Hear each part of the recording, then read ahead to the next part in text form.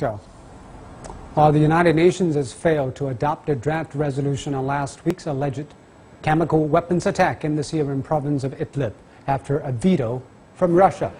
China, which has vetoed six resolutions on Syria before since the civil war began, abstained from Wednesday's vote along with Ethiopia and Kazakhstan. While 10 countries voted in favor, Bolivia joined Russia in rejecting it.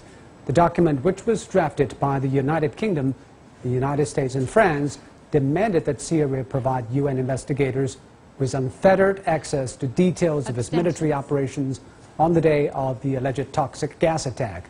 While the U.S. would later launch five dozen cruise missiles on a Syrian airbase, widening the rift between Washington and Moscow.